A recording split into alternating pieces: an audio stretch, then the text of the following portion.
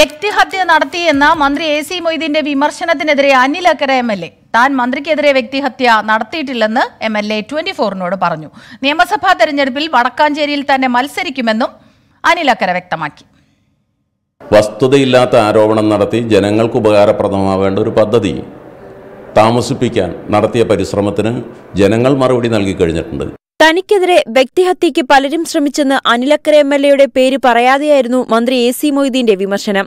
ഇതിനോട് Anil Akkara M L എയുടെ പ്രതികരണം ഇങ്ങനെ. ഉത്തരവാദിത്വം ഇരിക്കുന്ന അതിന്റെ വൈസ് ചെയർമാനായിരിക്കുന്ന തദ്ദേശ ബഹുമന്ത്രിയുടെ ഒരു വകുപ്പിനകത്ത് അനധികൃതമായ ഒരു അഴിമതി നടക്കുമ്പോൾ സ്വാഭാവികമായ മന്ത്രി മറുപടി പറയണ്ടേ? സ്വാഭാവികമാണ്. തനിക്കെതിരെ വ്യക്തിഹത്യ നടക്കുന്നുണ്ടെന്നും അനിലക്കര പറഞ്ഞു. താൻ വീട് മുടക്കിയാണെന്ന് പലരും പ്രചരിപ്പിച്ചു. അല്ല വ്യക്തിഗതിയിലേക്ക് സ്വാഭാവികമായി ഇപ്പോൾ അവിടെ വീട് മുടക്കുക എന്നുള്ള പ്രചാരം എനിക്ക് നടത്തുന്നുണ്ട്. ഞാൻ ഒരാളുടെ വീട് പോലും മുടക്കിയിട്ടില്ല. ഒരാൾ മുടക്കിയ ആളെ കാണിച്ചു തന്നാൽ ഞാൻ എന്റെ വീടിന്റെ അവിടെ എന്റെ വീടിനകത്ത് സ്ഥലം കൊടുത്ത് ഞാൻ അവിടെ താമസിപ്പിക്കും. ഒരാളെ പോലും ഇവർക്ക് കാണിച്ചു തരാൻ കഴിഞ്ഞിട്ടില്ല. മന്ത്രിസ്ഥാനത്തിരുന്ന് എ സി മൊയ്തീൻ കള്ളം പറയുന്നുവെന്നും ഈ ഗവൺമെന്റ് വന്ന ശേഷമാണ് വടക്കാഞ്ചേരി ലൈഫ് മിഷൻ ഫ്ളാറ്റിനുള്ള ഭൂമി ഏറ്റെടുത്തതെന്നും അനിലക്കര പറഞ്ഞു. എന്നാൽ തദ്ദേശ തെരഞ്ഞെടുപ്പിൽ വടക്കാഞ്ചേരിയിൽ പ്രതീക്ഷിച്ച മുന്നേറ്റമുണ്ടാക്കാനായില്ല. ഈ ലൈഫ് മിഷന്റെ ഈ ഫ്ലാറ്റ് നിൽക്കുന്ന സ്ഥലം അവിടെ നിൽക്കുന്ന സ്ഥലത്ത് ജയിച്ചത് കോൺഗ്രസ്സാണ്. ആസാദാണ് അവിടുത്തെ കൗൺസിലറായി ജയിച്ചിട്ടുള്ളത്.